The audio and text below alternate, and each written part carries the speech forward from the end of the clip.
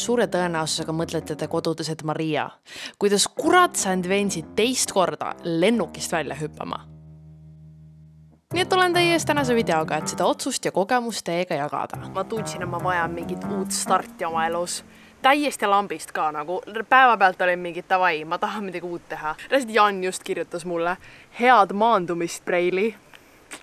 loodame, et me maandume ilusti ja ma olen varem ühe korra langevarjuga hüpanud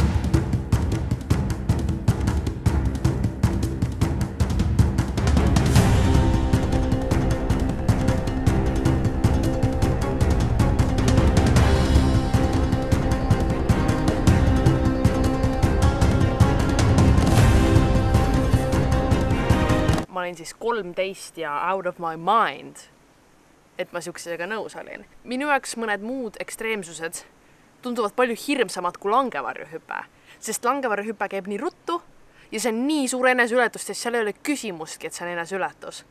ja sellepärast see tundus nagu õige asi, mida teha ja ühel teisipäeval, sel teisipäeval, sellesama nädala teisipäeval, täna on reede teisipäeval me istusime Anna Heleniga ja olime mingi katemit, et tahaks midagi head uueks videoks teha, tahaks midagi siukest mm, teha lihtsalt ja ma olin mingi, kuulge, läheme lihtsalt langevarjuga hüppama.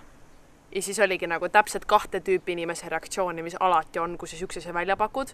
Helen oli mingi davai, teeme ära. Anna oli mingi davai, mitte kunagi.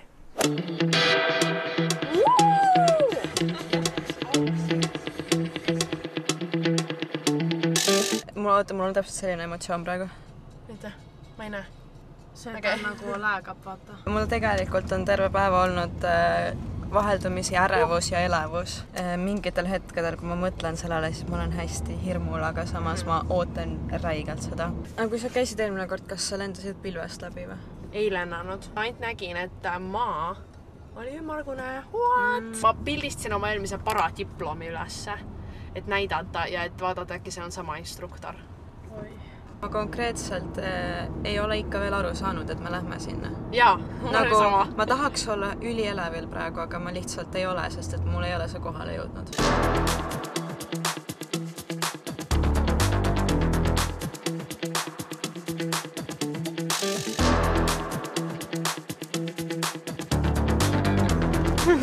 ta ütles niikuinii, me peame võib-olla ootama, et koos saada minna. kas sa oled natuke overwhelmed, Helen või? koos mingi kümne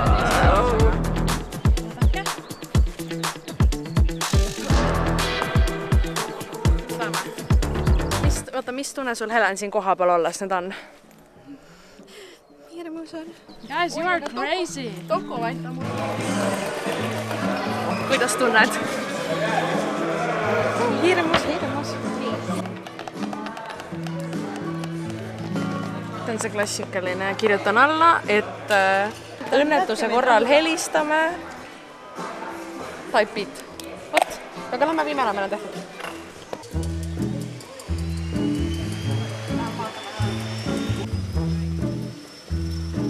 kus tuul on?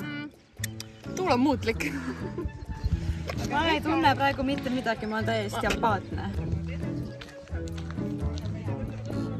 ma üritan spottida lennukit kui maal. nii murelik.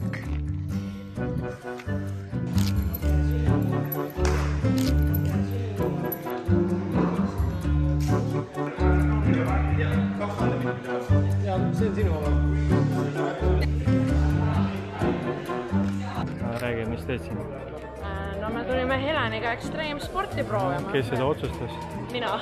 sina? mina Helen tuli kaasa.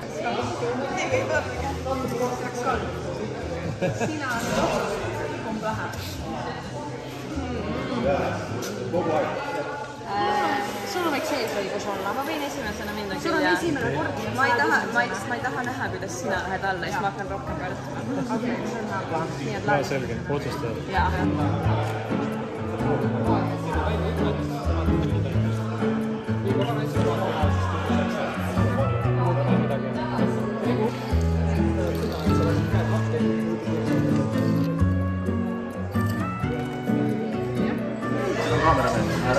Ready, set, go! sinna painad ja painad ja painad ja ma,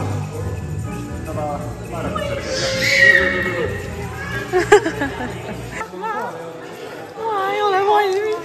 soikata? ja niimoodi. ei, ma ütlen pärast. ei ma just saatsin Heleni ja Maria tandemhüppele.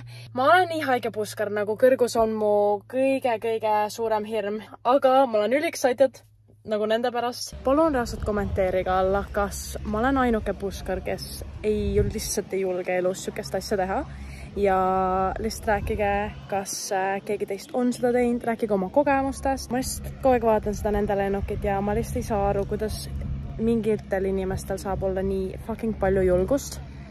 That is crazy.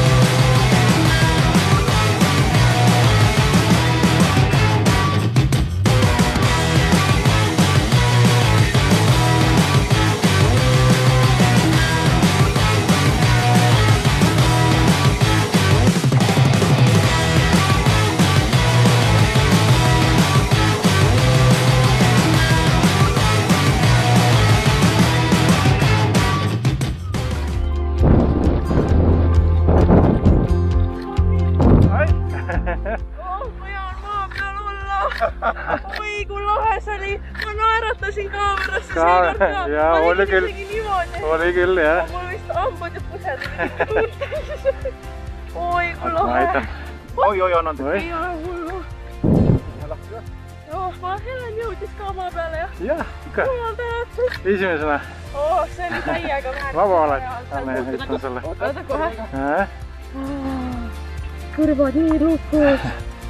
oh, see üks tropp on see on seal. rokk. üks tropp on seal. no tubli, anna viis. oi kui mõnus Yeah. oh,. hea olla.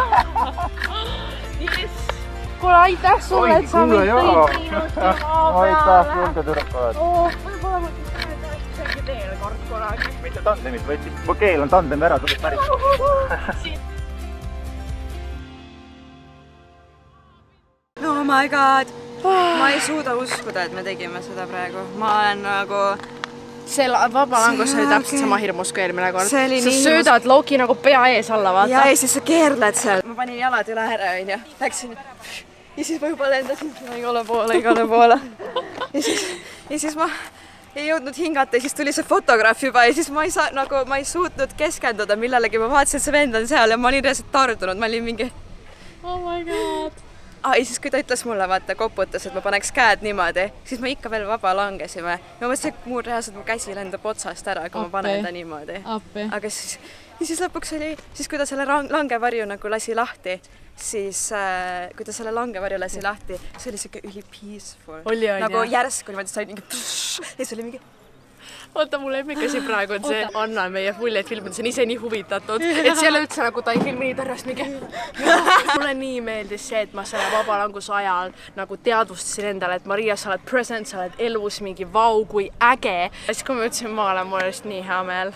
jumal, ja, ja ei, kohe kui ma tegin varju lahti, mu esimene mõte oli, aga kus Helen on? ja siis ta oli mingi, no Helen on seal, ma mingi, ma loodan, et tal on kõik hästi. ei, saad aru, see on minu vend, aga siis, kui ta tegi varju lahti, ta hakkas mul neid rihmasid lõdvendama. ja ta oli mingi, ma teen su lahti, saaks hingata, ma mingi mitte liiga ma, palju ma. konkreetselt nagu kukkusin allapoole, nagu ma mõtlesin, et jaa. ma lendan ta küljest ära ja see oli nii hirmus. hüppasime välja. neli null kaheksa, kõrgemalt kui eelmine kord. Yeah. kuppel oli lahti tuhat viis, tuhat viissada kaheksakümmend.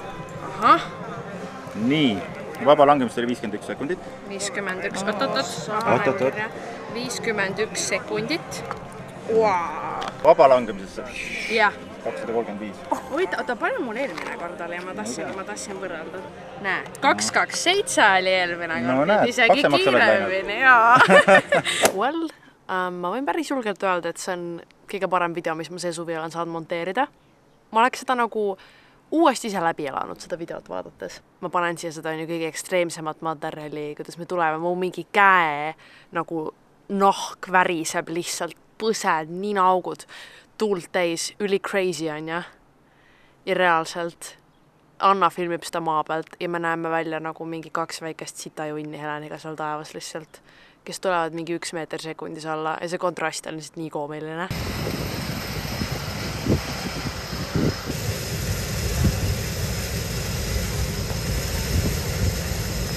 Aga tundub, et järgmise sammuna pean ma lihtsalt üksinda hüppama minema. mul on lihtsalt tunne, et it's calling my name, kes teab. järgmine vlog, Maria käis üksinda hüppamas. okei okay,, võib-olla mitte päris järgmine vlog, aga miks mitte järgmisel suvel